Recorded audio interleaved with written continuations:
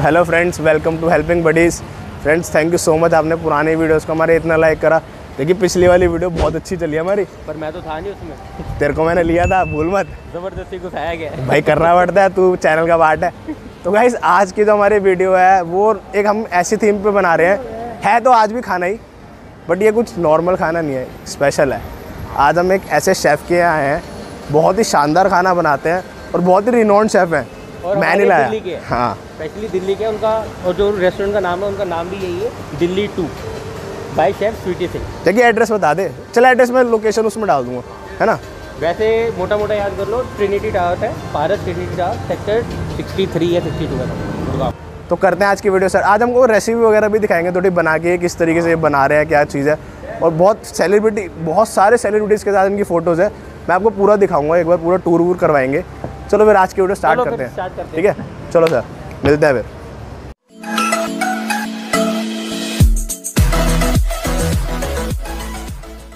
Friends आज हम आए Delhi two. Guys these are the celebrities जिन्होंने अंकल के हाथ का स्वादिष्ट खाना टेस्ट करा है। तो गाइस कैब देख ही रहे हो आप। क्लीनलीनेस का बहुत ध्यान रख रखा है इन्होंने। और बाकी यहाँ पर अंदर चलते हैं, आगे शेफ़ से बात कराते हैं, जिसकी मैं आपको तारीफ़ कर रहा था कि एक शेफ़ है और अच्छे खासे शेफ़ है नॉर्मली शेफ़ नहीं है। चले फिर अंदर। चलो एक बार बता दो और अपनी एक रेसिपी बना के दिखाएँगे जो आगे सिग्नेचर डिश है। चलो फिर आज अंदर चलते हैं। गाइस ये इनका किचन है, जैसा कि आप देख रहे हैं।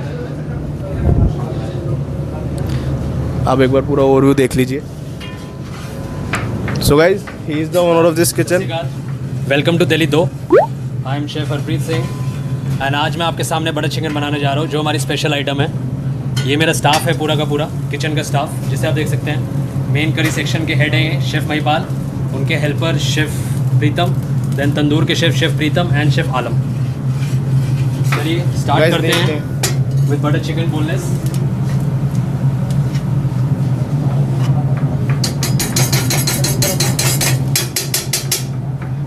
पहले हमने मक्खन डाला, इसके अंदर थोड़ा सा। After that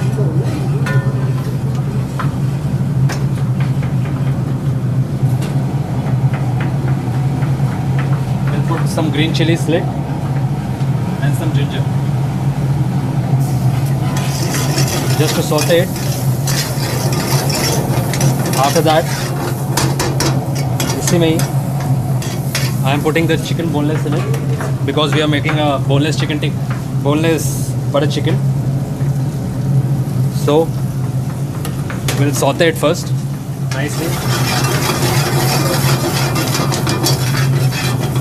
Then we'll add some seasonings. For example, some kasturi methi. Then your salt. After that, saute it little bit. Then some makhni gravy. और makhani gravy special because we don't add any khoya. No kaju. काजू भी उतना ही है जितना उसकी gravy के अंदर उसको चाहिए। नो शुगर नो सप्लीमेंट्स जो आप दूसरे उसमें देखते हैं कि बटर चिकन मीठा लगता है सबको। हमारा बटर चिकन बिल्कुल मीठा नहीं है। It's pure gravy of fresh tomatoes kaju then your onions and green chilli We are cooking it for 5 minutes. Till the time it will get little thick gravy. At the end, with the garnish of it, we'll add little cream.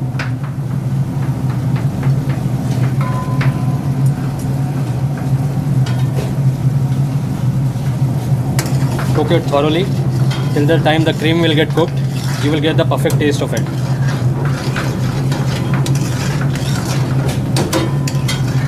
तो actually आप अगर ये जैसे non veg वालों के लिए बना रहे हो तो वेज के लिए भी आप कुछ नहीं स्पेशल वेज के लिए we do have a specific gravy makhani gravy होती है बट वो स्पेसिफिक होती है उसके लिए अच्छा। डिफरेंट बर्तन होते हैं हमारे पास। हम्म। सब कुछ डिफरेंट मतलब कढ़ाई अच्छा तो मतलब टोटली डिफरेंट डिफरेंट एक्जैक्टली तो गैस यहाँ पर आपको बिल्कुल भी ये बात की टेंशन लेने की ज़रूरत है specific segregation for both of them specifically for tandoor this one is for veg and that one is for non veg okay so tandoor भी डिफरेंट डिफरेंट लगाए हुए हैं। For the breads specifically Okay. जैसे Jain Jain order आते हैं अच्छा। सब कुछ आता है उसके हिसाब से ओके तो आप जैन वाला खाना भी बनाते हो जी not Okay. not always but on the special demand you can see the color of it Yeah. before and after i have added the looking really cream. delicious. yeah. yes it is rest i am thanking to my father chef sweetie singh हाँ जी it's all because of him that i am at this post right now तो ये आपने start कब किया था I have started this thing in 2011 Okay. when I have entered Culinary Academy of India. I have done my graduation from there itself. Okay After that, I got a job in ITC Mughal for two years as a kitchen executive. Okay. Then I got promoted as a sous chef over there in Dubai, H Hotel Sheikh Zayed Road. Okay. I have worked there for one year. Then my cousin Karan, who is my partner also, he is also there in the same field. By profession, he's a CA, but he has a hardcore interest in the same field. Okay just like me Yeah, so it's his dream itself. Okay So that's why we have planned to open up our own thing. So it's just a trial kitchen. So we are just seeing that let's If make it's it go work, through. then- Yeah, if it's work, then we'll make a brand for sure. So आपके दिल्ली के अलावा भी यहाँ पर जैसे गुड़गांव में तो दिल्ली में इसके भी अलावा भी दिल्ली में हमारा एक ढाबा है जो मेरे दारजी के टाइम से है that means my grandfather he started from 1956 after the partition when he came back from Pakistan from back side we are from Rawalpindi okay so he started from ठेला इटसेल्फ उस पर दारजे सिर्फ़ मीट और दो रोटी बेचा करते थे। अच्छा।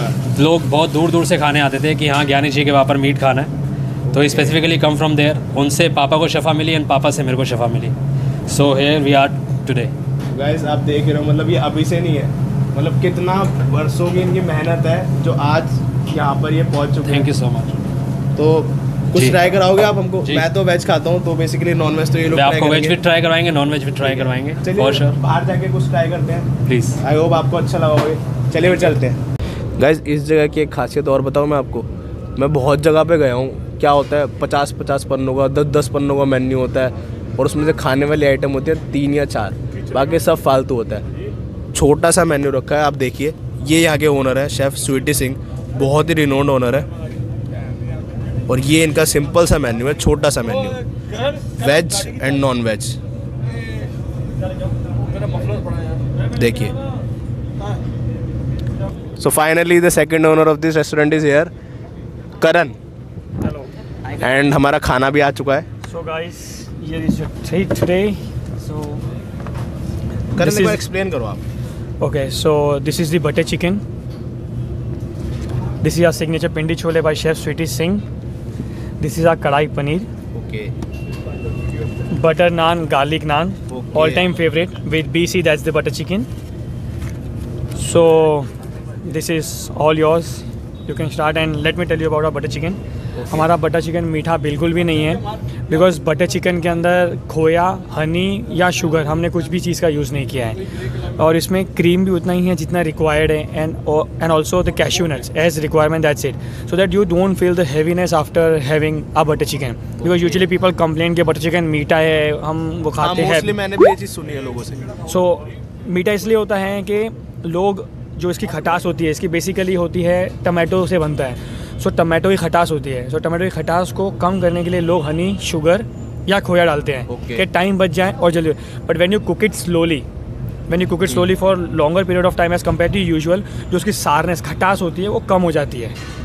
ठीक है? वैसे बहुत एक अच्छी टिप मिली है आपको। नॉर्मली जो लोग घर पे बटर चिकन बनाते हैं तो उनके लिए बहुत ही इंपॉर्टेंट टिप है कि किस तरीके से बनाना चाहिए। This is a U S P of chef Sweety Singh because ये उनकी नॉलेज है जो उन्होंने दी है बिकॉज़ यूजुअली कोई बताएगा नहीं कि लोग क्यों खोया हनी Exactly, शुगर यूज़ करते हैं। बिकॉज़ वो खटास होती है टमाटर की वो कम करने के लिए ये चीज़ें डाली जाती है। But when you cook it a bit longer than usual जिसकी खटास होगी वो अपने आप ख़त्म हो जाएगी। धीमे आँच पे जब आप उसको पकाओगे। ठीक है फिर ट्राई करते हैं एक बार देखते हैं कैसा है इनका खाना। फिर आपको बताएँगे रिव्यूज़ वगैरह कि कितना अच्छा लगे जो भी है ठीक है? तो गाइस जैसे मैंने आपको बताया कि नॉन वेज नहीं यहाँ पे वेज के लिए भी बहुत अच्छे अच्छे ऑप्शन हैं। तो एक बार मैं ये ट्राई करता हूँ पिंडी छोले। एक बार ट्राई करके बताता हूँ आपको।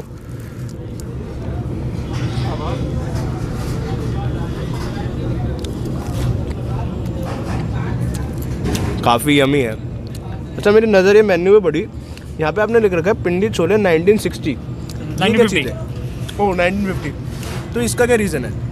सो इसका हमने ये इसके लिए रखा है कि थोड़ा ये एनकैचमेंट भी होता है थोड़ा अट्रैक्शन के बंदा पढ़ता तो बोलता है यार 1950 क्या है सो वॉट हैपेंड वो जब अपना इंडिया पाकिस्तान का हमारा पार्टीशन हुआ सो so, अच्छा। मेरे नाना जी जो शेफ हरप्रीत सिंह के दारजी मतलब दादाजी दादाजी थे जब वो बंटवारे के बाद इंडिया आए अच्छा। तो वो दिल्ली आए दिल्ली से उन्होंने बिज़नेस स्टार्ट किया तो उस समय पे वो छोलों को कनस्तर आते थे घी के पीपे कहते हैं हाँ जैसे हाँ पंजाबी में घी के पीपे। हाँ हाँ हाँ। तो उसके अंदर वो पानी में उसको डुबो के रात भर रखते थे और नीचे जो वो टाइम पे मतलब जो देसी पन था खाना पकाने का जो नीचे लकड़ियाँ रखी होती हाँ, थी हाँ, और कनस्तर को जो हम था, पंजाबी में थाट टाट कहते हैं टाट बोरियाँ होती है जो बोरियाँ है। हम्म, जूट की होती है उससे कवर करके छोड़ दिया जाता था और वो रात भर उसमें उबलते थे कनस्टर्स में।